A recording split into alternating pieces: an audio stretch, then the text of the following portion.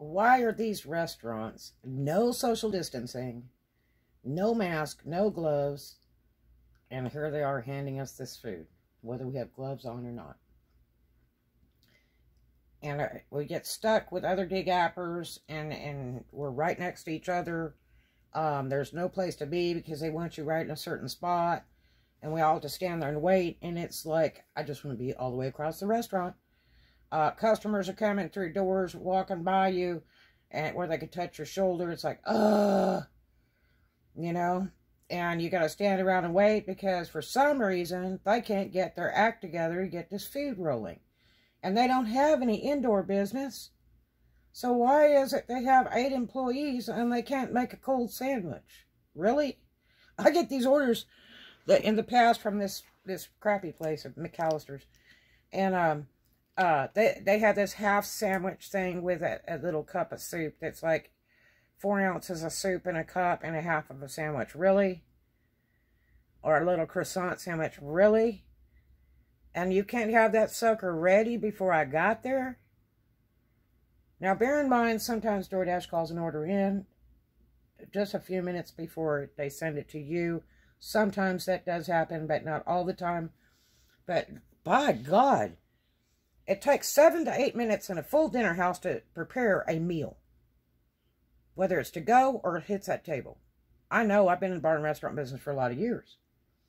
Uh, since I was underage even. Um, owned them, run them, and worked them. I know. From scratch, a meal, seven to eight minutes. Ask any chef.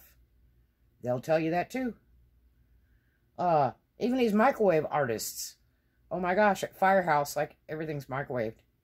And um, I couldn't believe it the other day. It, it, it, took the girl seven minutes just to squeeze the macaroni and cheese out with a special tool to get every drop of sauce out of this little tiny packet into a cup. And I had to stand there and wait for that. That food was not ready. And, it, and they were so slow. Three people working, and they were just slower than mud. And I'm like, really? Like, I don't get paid by the minute. I'm sitting there just like, you know, you better hurry because my timer's on. Once that sucker hit 10 minutes, I'm clocking that order out. I don't care. Send another driver because I'm done. I can be somewhere else taking another order because they're flying right now. They are flying the to-go orders. The to-go business is incredible right now. Between the internet and to-go, it's flying. That's where the money's at. So, this is a grave concern, especially for our health and, and, and um, I mean, it's a life and death matter. When you got, I, I went into this uh, mom and pop barbecue place. I like the people. They're very friendly and very nice. And 90% of the time, that food is ready when you walk in the door. It's a little tiny place. Um, but they, they have a sign on the door, we don't require masks. And they let people all sit together and, um, uh, they got all these big wooden booths they built through the restaurant. None of the employees not in the kitchen or on the front end are wearing masks or gloves. And I'm standing there going, oh my gosh. And then they're going to hand me this food. And it's like, oh. And it's just scary. I mean, their customers are coming through the front door. They're walking right by you so they can get in line and order at this one little place. And I was in there the other day and there was like 12 people coming in the door Looked like it was a family party or something. And they weren't giving a damn that I was standing there. It's like I was invisible. And I'm like, Mother of God, why are we not social distancing? And I got no place to go unless I walk back to the kitchen. um, which I'm sure they would be reporting me for that. But that's another serious concern. So let me tell you how we do this. Because DoorDash drivers are the best drivers. That's a fact. There's only a few slumpers, but they'll be gone in time. It doesn't take long to get rid of them. That's why the ratings bite and everything else. My ratings are great. They are excellent. And um, because I do what I'm supposed to do. I report problems before anything else, before anybody would try to report me or anything. I report those problems to DoorDash. Whether it be text, email, which they call support ticket, or calling them. I don't like to call them and I don't like to answer the calls because it's usually when I'm working and I don't have time for that. Because I lose a bunch of orders and it screws me all up because, you know, or I have to pause or something. And I don't like that because I'm losing money. Don't do this to me while I'm trying to make some money, you know. Um, first of all, report them to Dee. Now, on the unhappy and happy face thing at the end of an order, try to get in there and go unhappy face and then write down on that bottom part, click off everything you need to click off. Always click off low base pay. But um, go to that bottom, bottom thing and click on that and then lift it up a little bit so you can see while you're typing or talking into your phone and make a statement about these people weren't wearing masks. There was no social distancing, you know, because that's proof to Dee. They need to notify the restaurant, especially if it's a signature store where they pay 30% of every meal we take out of there um, to Dee Dee. Uh, it's their job to talk to the restaurant say, look, we can't send our dashers in there if you don't have some protection. You know, so what do you want to do? Do you want to have protection or no dashers? And everybody's desperate for that money, so you know they're going to have to make a change or forget it. Because DoorDash isn't going to deal with it. Really, they aren't. So make sure to report on that, that unhappy face. Also, you can send a support ticket which is on the, the, the, the app. When you go in there on the question mark thing, um, you send it under other and type out a little thing there and ship it to them and they'll respond to it. And if they don't respond good to it, send it again. I've done it where I sent it three times till you get the right rep to do something about it. Because sometimes it's that way. Um, you have two say no and one says yes. Um, and also this DBPR, okay? Department of Business and Professional Regulations. It's online. And fill out that form and report them because Board of Health and all that other stuff, a lot of that stuff's closed. A lot of the business licensing offices are closed, but these people are open. And they are working right now to stop this. Because everybody's under agreement of what the restrictions and the laws are in order to open a business, especially a food business. Um, and they are forced to comply with it um, to keep everyone dying and being sick. It's the law. So make sure to do these two things, okay? I mean, you do this in the middle of the night, 3 in the morning. Go online. Type in DBPR for your state, report them. Um, Florida's is very strong, so if you ever work in the Florida area, theirs is really tight woven. It's it's like direct link, man, and and it's a simple form to fill out. Go ahead and fill it out. Don't be afraid to put your name on there. If you want to, make a fake name, whatever. But uh, do report the business. And report as many times you need to. Every time you go back in there, it's still like that, report it again. Because um, that needs to stop. That's not fair to us. I don't want to go in there. Okay? If they want to go maskless and, and no social distancing and seat a bunch of people in a restaurant, and I got to walk through all that mess and stand around and wait till they have the stuff ready or whatever, um, then I would rather not. You see what I'm saying? It's not worth three bucks to die.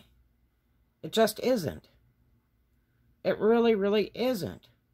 And until these customers learn how to start tipping for this luxury service, uh, you know, it better be good for me to do that. Because it's not worth me risking my life. I'm safer outside in the open air than I am inside where this stuff's rolling through their heat and air systems and customers are sick and wandering around. And, you know, a lot of people don't know they're sick till they get tested or they get fatally ill. And they're wandering around giving this stuff out, you know?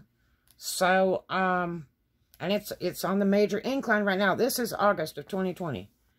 It is really bad right now. I mean, seriously scary bad. So, um, I'm not a suicidal person, and I know you aren't. And that's why we're out hoofing it to make that buck. You know, I have another job where I'm a district man, but I got laid off back in March. You know, we had to fully shut down, and we're just barely running now. Um, so it's a good thing I've always kept this job for several years. Um, and, uh, you know, I mean, they, I, they have high respect for me, which is cool um, so I can get a lot of things done um, and get them done right and straightened out um, for dashers. But anyway, that's what you got to do.